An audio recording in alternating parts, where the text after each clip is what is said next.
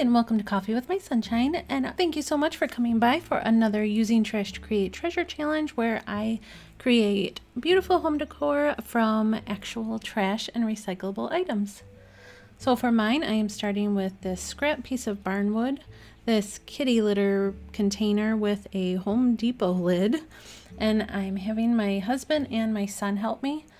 My son is um, using the saw right now and the only reason we're using this saw is because we got it out to cut a circle. So I know this isn't typically the saw you would use for straight lines, but you know, it works.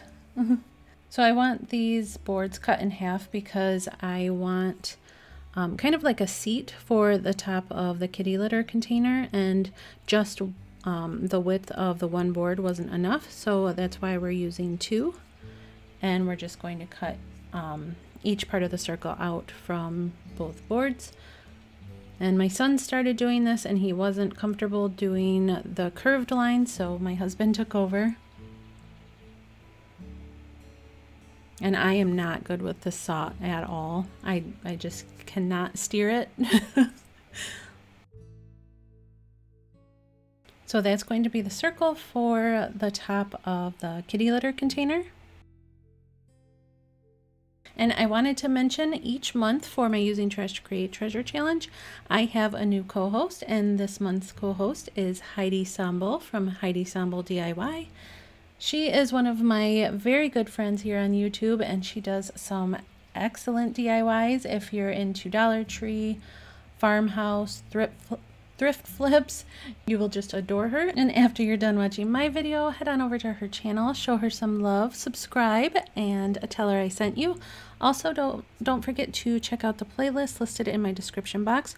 Basically, this challenge is taking anything from the trash or recyclable items and turning it into home decor, something useful, anything to keep it out of the landfill and give it a second life. So I hope you guys enjoy. So back to these projects, my son is cutting these strips for me and uh, my husband is also cutting a little bit thicker strips from the scrap pieces of wood that I had.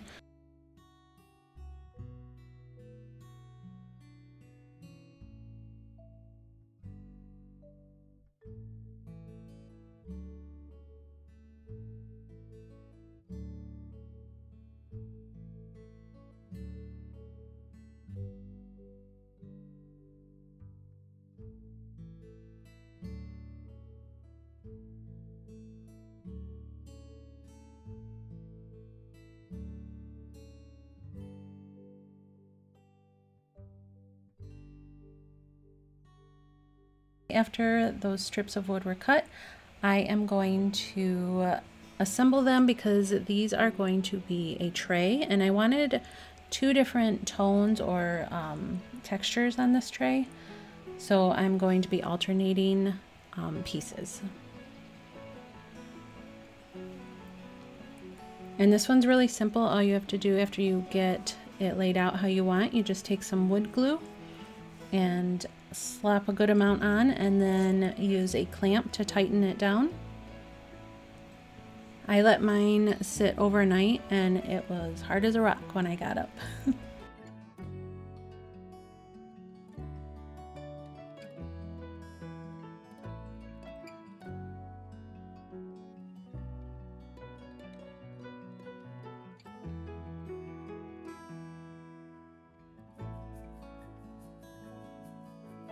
For the kitty litter topper, I am taking those wood round or wood pieces and gluing them together in the center. And I didn't have a clamp, so I kind of, a clamp big enough, so I kind of made my own out of a couple bricks and a, um, what are they called? Bungee cord. and it seemed to work out really well because it was super strong when I woke up, so.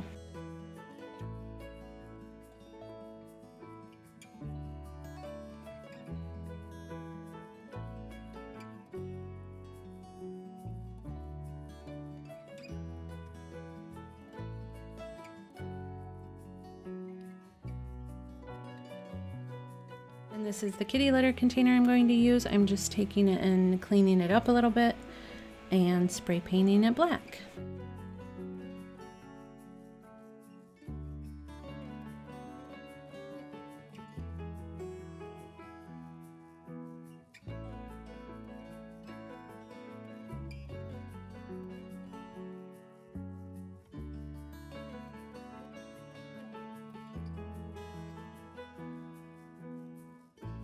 For the lid, I didn't think I needed to spray paint the top because you're not going to see it. I just wanted the very edges of it because you will see that.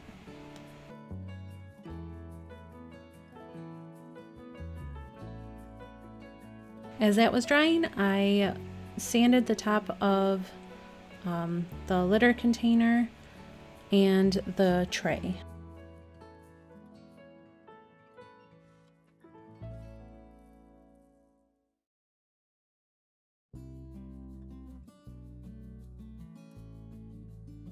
As of right now, these two stains are my favorite. It's um, Pickled Oak and Early American. I love layering stains because I can never find one that is perfect. so I start with the Pickled Oak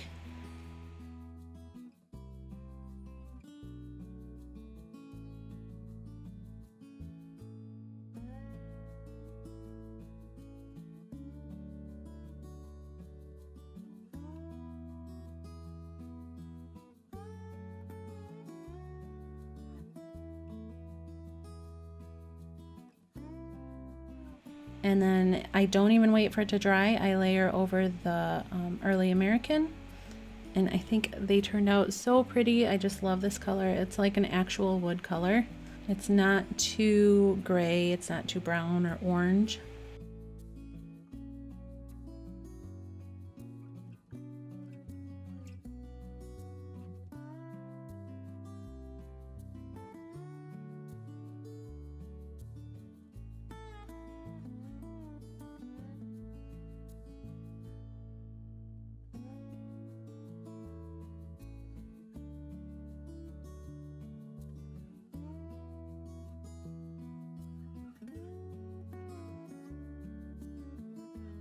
So then after that dried, I just um, flipped it over and put the litter container or litter lid underneath and screwed it in and screwed it onto the wood.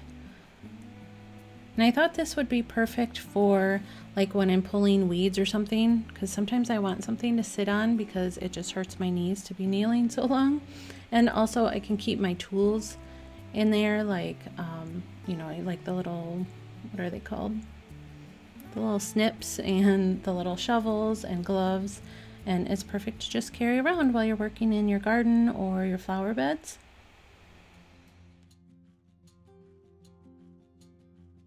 Then for the tray I looked all over because I had just gotten some um, like antique candles. I got them from a garage sale and I could not find them anywhere.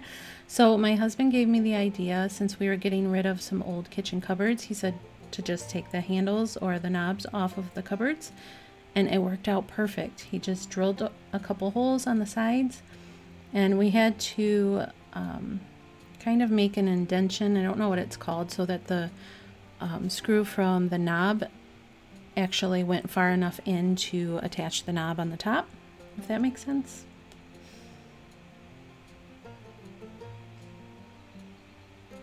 And I actually think it looks really cool with the knobs and it works perfect as handles.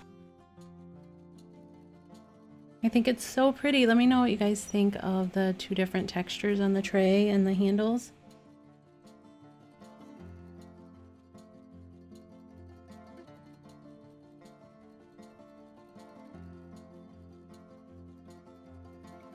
Then next for the bucket, I am taking some of this metallic paint in copper and bronze and painting the handle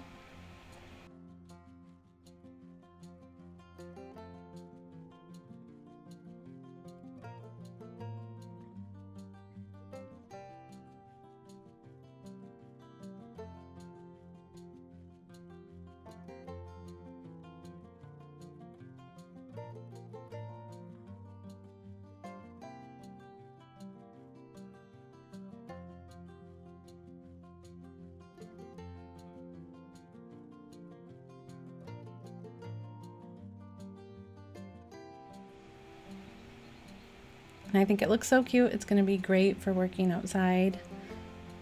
Or really anything. You can, I don't know, you can store anything in there. We have another one that I made um, probably a year ago now that we keep like bird seed in it and stuff.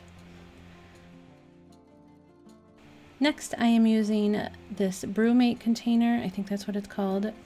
Um, it keeps like your drinks cold, which if you drink anything in cans, these are awesome. They work great and they're super cute. But I thought the shape of the container was really cute and I wanted to keep the top of it because I liked the pattern on here. So I'm just cutting the bottom out and we're going to actually make the top the bottom, if that makes sense.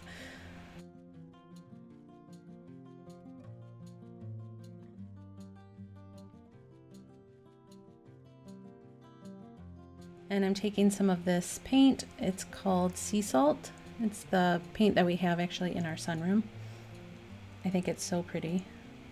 And I'm just giving it two coats and putting the top or bottom back on.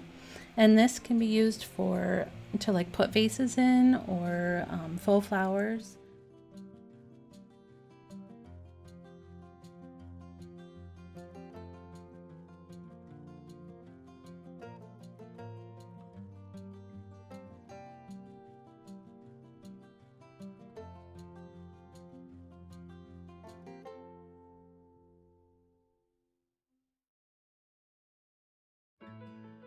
I think it's super pretty, especially on the tray.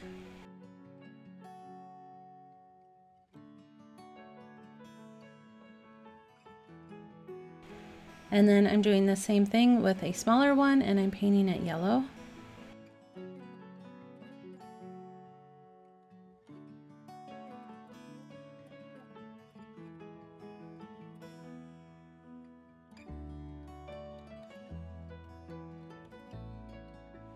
And I think they're just so cute. This kind of gives you like a mid-century modern look to it. And I also used a, um, I think it's a ginger beer bottle for that other flower.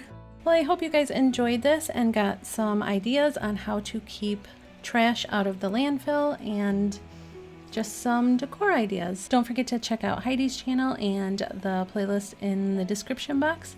And if you're new to my channel, I would love for you to join my YouTube family. Thanks so much for all your love and support, guys, and I'll see you next time. Bye!